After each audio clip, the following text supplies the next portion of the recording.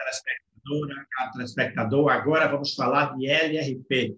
Este é o segundo episódio e tem como objetivo discutir a necessidade de uma lei de responsabilidade previdenciária. No episódio número um, eu falei sobre a necessidade de blindar a gestão, blindar os gestores, blindar as pessoas que estão na atividade e se preocupar com a vida, com a sustentabilidade do regime próprio.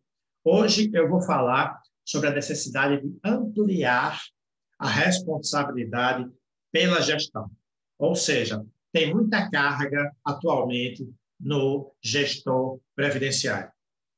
Mas tem muita gente que poderia ajudar, aliás, tem o dever de contribuir para o regime próprio e não o faz.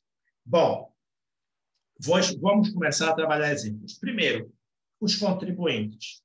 Quem são os contribuintes? É o secretário de Finanças. É, se tiver o presidente de uma autarquia ou fundação, será ele. Certo? Rigorosamente são as entidades.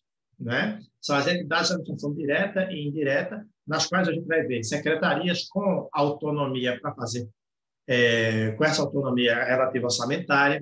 Vamos ter autarquias, fundações, vamos ter o presidente da Assembleia e da Câmara dos deputados, que dos vereadores que fazem as contribuições. Então, todas essas autoridades, né, elas têm a caneta para contribuir para a Previdência. E o que acontece? Quando eles, eles atrasam, eles criam problemas para a gestão. Então, eles têm responsabilidade pela sustentabilidade do regime próprio. Primeira questão. Segunda questão, é, secretários de finanças, de planejamento, é, administração. Aí cada estado, cada prefeitura tem sua própria lógica. Qual é a função desses secretários? Primeiro, eles recebem a orientação do gestor e eles têm a obrigação de cuidar da sustentabilidade financeira do município em curto, médio e longo prazo. Eles não podem deixar bomba para a gestão seguinte, por exemplo. Então, eles têm que se responsabilizar por monitorar os riscos fiscais do regime próprio. Então, esse aspecto é muito importante. Os riscos fiscais é, de, que o regime próprio pode ter são de responsabilidade do presidente do Instituto, que deve comunicar, deve orientar os secretários de administração, planejamento, finanças, mas é de responsabilidade maior destes secretários que têm essa pasta como sua prioridade. Esses secretários assessoram o prefeito, e o prefeito deve cobrar deles. Aí vamos para um terceiro nível de responsável.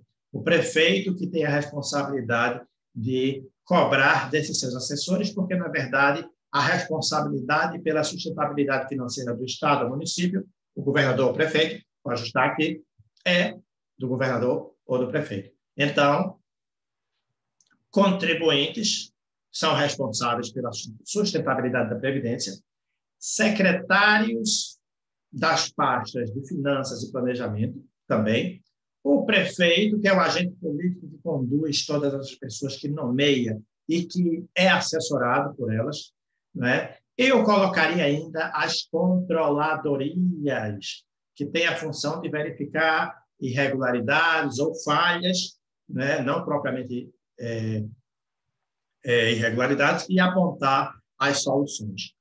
A LRP precisa definir todas essas pessoas como responsáveis na esfera previdenciária. E o que é que significa ser responsável na esfera previdenciária. Significa dizer que a ação ou a omissão que gere prejuízo ao regime próprio gerará responsabilidade que pode ser administrativa, civil e penal. Então, você pode perceber que a LRP é muito importante. É muito importante. E é um debate necessário que precisa ser feito, e é por isso que a Rede de Previdência né, vem fazendo, vem promovendo, e eu comecei esta série. Por fim, eu quero, vou colocar aqui abaixo o contato da Rede Previdência e fazer a você o convite para conhecer e para saber mais da nossa pós-graduação em RPPS que estamos lançando. Tá bom? Um forte abraço e até a próxima.